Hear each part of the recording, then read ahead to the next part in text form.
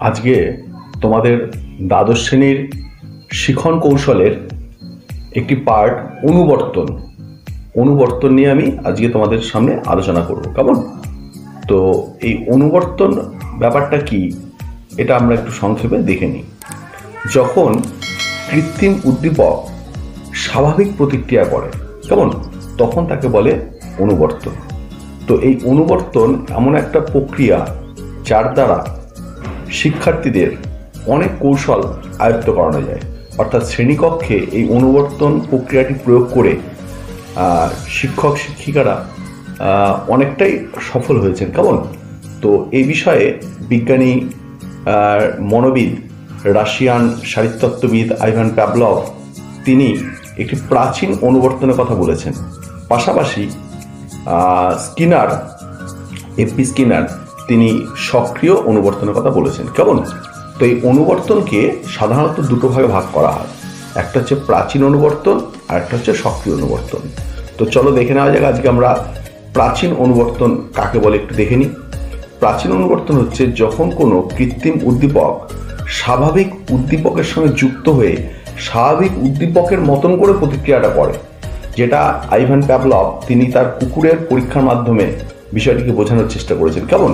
আর অপরদিকে সক্রিয় অনুবর্তন হচ্ছে যে এটা অনুবর্তনটা কি হয়? এক্ষেত্রে প্রতিক্রিয়াটা আগে হয় এবং উদ্দীপকটা পরে আসে। অর্থাৎ উদ্দীপক, উদ্দীপকটা যে সক্রিয় উদ্দীপক সেই উদ্দীপকটাকে এখানে পরে কাজ করানো হয়। তাই একে বলা হয় সক্রিয় অনুবর্তন। কেমন?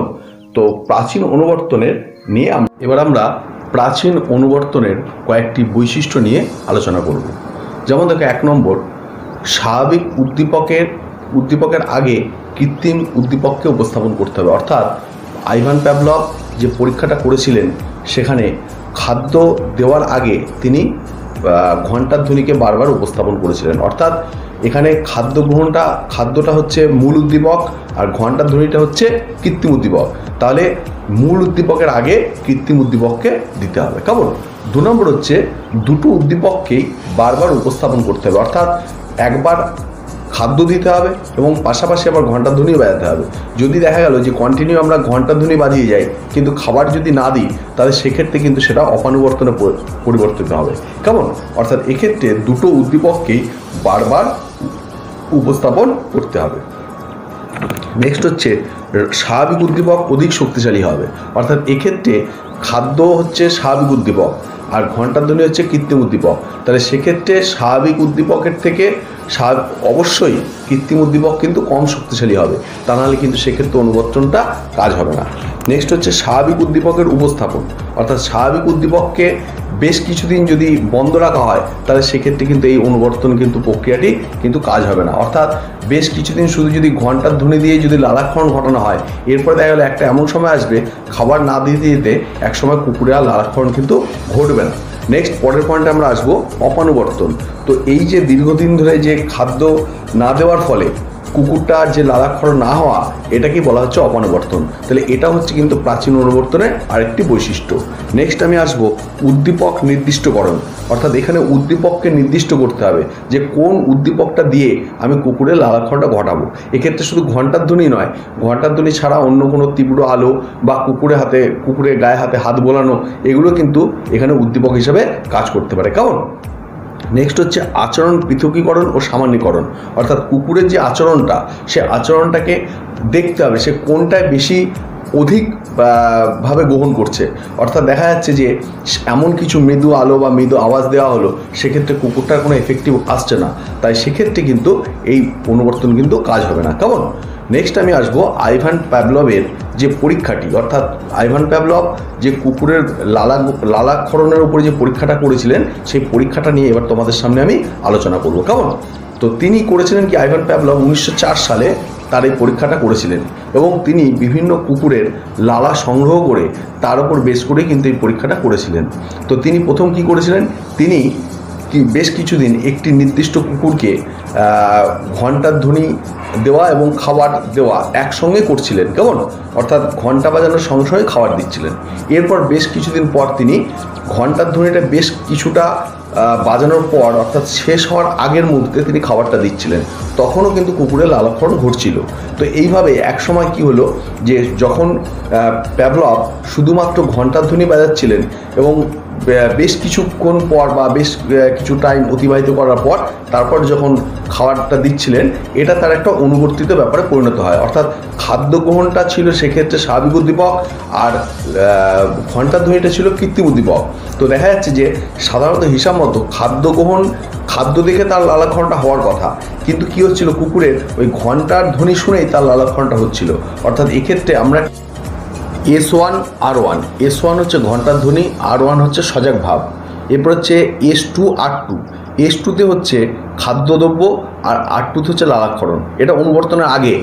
আর অনুবর্তনের পরে কি হলো? এস ওয়ান থেকে আর টু হয়ে গেল। অর্থাৎ ঘণ্টার ধ্বনি থেকে তার লালাক্ষরণ হতে শুরু করল। এইভাবে এই জিনিসটা তিনি পরীক্ষার মাধ্যমে দেখানোর চেষ্টা করেছেন। এস মানে এখানে স্টিমুলেটিং অপশান আর আর হচ্ছে রেসপন্ডিং অপশান কেমন? অর্থাৎ এস হচ্ছে স্টিমুলেট করছে, উদ্দীপক, আর আর হচ্ছে তার সজাগ ভাব রেসপন্স তাহলে দেখো, প্রথমে এস ওয়ান থেকে আর ওয়ান ছিল। যখন কুকুরটা ঘণ্টা শুনে সে সজাগ ভাব আসছিল এরপরে আর এস টু আর টু হলো, অর্থাৎ খাবার দেখে তার লালাক্ষরণ হলো। আর এরপরে পরবর্তীকালে কি হলো? এস ওয়ান থেকে তার আর টুতে পরিণত হলো, অর্থাৎ ঘণ্টা শুনেই তার লালাক্ষরণ হতে শুরু করল। এইবার দীর্ঘদিন এইভাবে চলতে চলতে, অর্থাৎ কুকুরটা যখন অনুবর্তিত হয়ে গেল এবার দেখা গেলো প্যাবলভ দেখলেন যে তিনি আরেকটা পরীক্ষা করলেন, যে তিনি দীর্ঘদিন ধরে শুধু ঘন্টায় বাজাতে থাকলেন, কিন্তু কোনো রকম তিনি খাবার দিলেন না। এবং একসময় কুকুরটা তার সেই সময় যে নির্দিষ্ট সময় আসতো এবং তার যে লালাক্ষরণ হতো, আস্তে আস্তে সেটা কিন্তু বন্ধ হয়ে গেল। অর্থাৎ সে আস্তে আস্তে আশায় বন্ধ করে দিল। তাহলে এটাকে প্যাবলভের ভাষায় বলা হচ্ছে অপানুবর্তন। কেমন? অর্থাৎ দীর্ঘদিন যদি শক্তিশালী উদ্দীপক উপস্থিত না করা হয়, তাহলে যে স্বাভাবিক প্রতিক্রিয়া সেটা বন্ধ হতে থাকে। এটাকে প্যাবলভ বলছেন যে অপানুবর্তন ঠিক আছে? এবারে আমরা নেক্সট আসব যে শিক্ষাক্ষেত্রে কীভাবে এই অনুবর্তিত প্রতিক্রিয়াকে ব্যবহার করা যায়, কেমন? তো আমি এখানে কতগুলো পয়েন্টের মাধ্যমে বিষয়টাকে আলোচনা করার চেষ্টা করছি, তোমরা বিষয়টা একবার দেখে নাও। প্রথম পয়েন্ট হচ্ছে শিশুর ভাষাগত বিকাশ। অর্থাৎ এক্ষেত্রে কি হয় আমরা শিক্ষার ক্ষেত্রে অনেক সময় দেখেছি যে কোনো ছোট শিশু, বাচ্চা শিশু, তাকে অক্ষর শেখাতে গেলে হ্যাঁ বিভিন্ন ধরনের পদ্ধতি আমরা অবলম্বন করি। অনেকে দেখা যায় যে কোনো একটা মায়ের মতো কোনো একটা শাড়ি পরা মহিলাকে ডেকে এনে বলো, ইনি তোমার কাকিমা বা দিদিমা।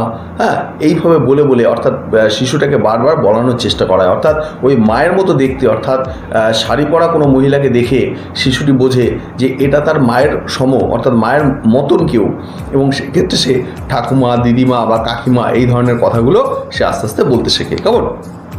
নেক্সট হচ্ছে শিশুর শিখন দক্ষতা। শিশুর শিখন দক্ষতার ক্ষেত্রেও কিন্তু এই অনুবর্তন প্রক্রিয়া যথেষ্ট কার্যকরী। আমরা ছোটবেলায় শিশুদের বিভিন্ন ধরনের ছড়ার মাধ্যমে এই অনুবর্তিত প্রক্রিয়াটি অ্যাপ্লাই করার চেষ্টা করি। যেমন ছোট ছোট বাচ্চাদের হ্যাঁ অয়ে আমটি অয় অজগর আসছে তেরে আয় আমটি খাব পেরে। এই ধরনের বিভিন্ন ছোট ছোট ছড়ার মাধ্যমে শিশুদের আমরা শুদ্ধ উচ্চারণ, তারপরে নামতাগুলো পড়ানো ইত্যাদি বিভিন্ন ধরনের তাদের সু অভ্যাসগুলো গঠনে আমরা চেষ্টা করি। নেক্সট টাইমে আসব কু অভ্যাস দূর করা। শিশুদের মধ্যে অনেক ক্ষেত্রে দেখা যায় কু অভ্যাস থাকে। তাহলে সেই কু অভ্যাসগুলো দূর করার জন্য আমরা এই অনুবর্তন প্রক্রিয়াটা প্রয়োগ করে থাকি। যেমন সকালবেলায় ঘুম থেকে ওঠা দাঁত, মুখ ধোয়া বা ব্রাশ করা ইত্যাদি বিভিন্ন যে জিনিসগুলো, এগুলো কিন্তু আমরা করে থাকি। আবার বিদ্যালয়ে যখন প্রথম কোনো শিশু যায় তখন সে বিদ্যালয়ের যে নিয়মকানুন সেগুলোকেও কিন্তু আমরা অনুবর্তন করানোর চেষ্টা করি। যেমন ঘরে গিয়ে নির্দিষ্ট তার জায়গায় বসা হ্যাঁ ঘণ্টা পড়লে প্রেয়ার লাইনে যাওয়া এবং শিক্ষক মশাই আসলে উঠে দাঁড়ানো বা প্রেজেন্ট দেওয়া ইত্যাদি বিভিন্ন বিষয়গুলো, এগুলো কিন্তু এই অনুবর্তন প্রক্রিয়ারই একটা ফল। নেক্সট আমি পরবর্তীকালে আসব। শিশুর প্রাক্ষবিক বিকাশ। শিশুদের অনেক প্রাক্ষবিক বিকাশ থাকে। যেমন ধরো কখন হাসা দরকার বা কখন কাঁদা দরকার, এই ধরনের জিনিসগুলো অনেক শিশুই কিন্তু ঠিক বুঝতে পারে না। এবং দেখা যায় অনেক শিশুর মধ্যে কিন্তু জেদ থাকে। তাহলে এই জেদগুলো দূর করার জন্য এবং কখন কোন ধরনের আচরণগুলো করা দরকার, এই সমস্ত বিষয়গুলো করার জন্য কিন্তু অনেক ক্ষেত্রে আমরা এই অনুবর্তন প্রক্রিয়ার সাহায্য নিয়ে থাকি। এরপর হচ্ছে শিক্ষার্থীদের মধ্যে আগ্রহ সৃষ্টি করা। বিভিন্ন ধরনের ছোট ছোট ছড়া, গল্প বা কবিতা পাঠ করে শিশুদের মধ্যে আগ্রহ সৃষ্টি করা বা বিভিন্ন ছবি দেখিয়ে বা বিভিন্ন অডিও ভিজুয়াল কোনো ছবি দেখিয়ে শিশুদের মধ্যে কিন্তু আগ্রহ সৃষ্টি করানোর চেষ্টা করানো হয়। এটা হচ্ছে এক ধরনের অনুবর্তন। কেমন? নেক্সট আমি আসব শিক্ষক শিক্ষিকাদের আচরণ এটা কিন্তু শিক্ষার্থীদের মধ্যে অনুবর্তিত হয়। যেমন দেখা যায়, অনেক ক্ষেত্রে দেখা গেছে যে শিক্ষক, শিক্ষিকারা কী ধরনের আচরণ করছেন বা তারা কী ধরনের পোশাক আশাক করছেন বা তাদের অভ্যাস বা তাদের তাদের বিভিন্ন ধরনের নেচার, এই জিনিসগুলো কিন্তু শিক্ষার্থীরা অনেক ক্ষেত্রেই কিন্তু তারা নিজেদের মধ্যে নেওয়ার চেষ্টা করে। কেমন? তাহলে এক্ষেত্রে এই শিক্ষা ব্যবস্থার ক্ষেত্রে এই অনুবর্তন প্রক্রিয়াটি যথেষ্ট গুরুত্বপূর্ণ বা যথেষ্ট তাৎপর্যপূর্ণ।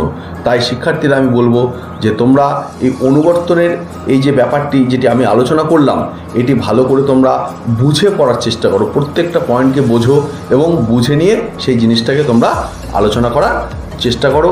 যদি কোনো সমস্যা থাকে তোমরা অবশ্যই আমাকে জানাও। আমি নেক্সট পার্টে যে সক্রিয় অনুবর্তন আছে, অর্থাৎ স্কিনারের যে সক্রিয় অনুবর্তন, সেটা নিয়ে তোমাদের সামনে আলোচনা করব। কেমন? আর এই চ্যাপ্টারে তাহলে আমি কী কী আলোচনা করলাম?